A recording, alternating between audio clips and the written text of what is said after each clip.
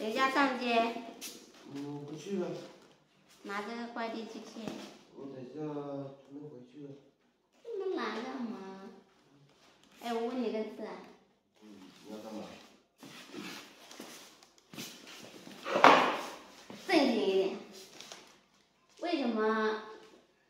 为什么你们男的不愿意当上门女婿？你愿不愿意？你愿不愿意当上门女婿？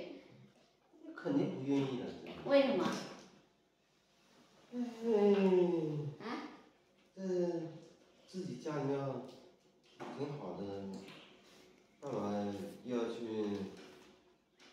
干嘛又要去做那个上门去？不去。你这样子做就不行。那你做那女的嫁给男的，哎为什么要要去男方？哎呀。你们的思想到底是想什么啊？他肯定不一样啊。有啥不一样啊？嗯？啊？你说出来嘛。你想一下，那个干活的肯定是男的去干活。嗯。像像我在农村的话，你想想，要男的，呃，去去另外一个城市上门的话，出去外面干活，别人也没有认识。嗯，等一下你叫别人帮忙，等一下别人都没准都没人帮你。哎呀，讲这种，那你一个女的还想去南方，她还不是一个都不认识？哎，那女的你肯定，你肯定做事做的少，对不对？做事做少，那在家里更加了，连个人说话都没有，一个人都不哎都都不认识。你可以出去玩呢。去哪里玩？就不认识人去哪里玩？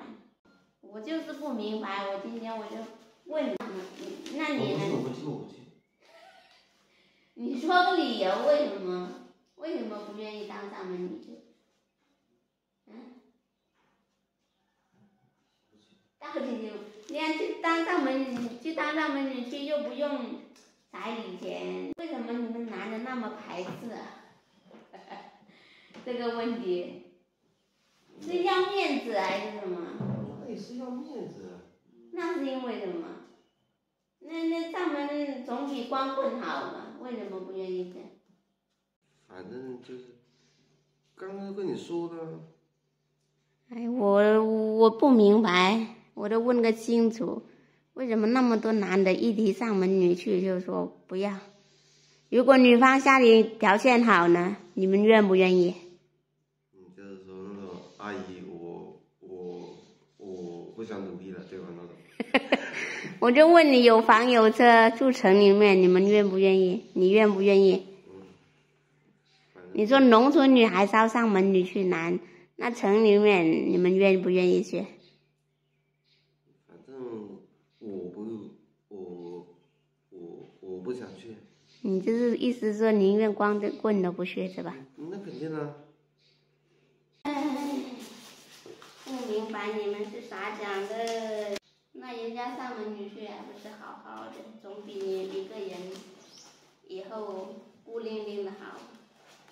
上门女婿以后还有有怎么朋友可能孤零零的？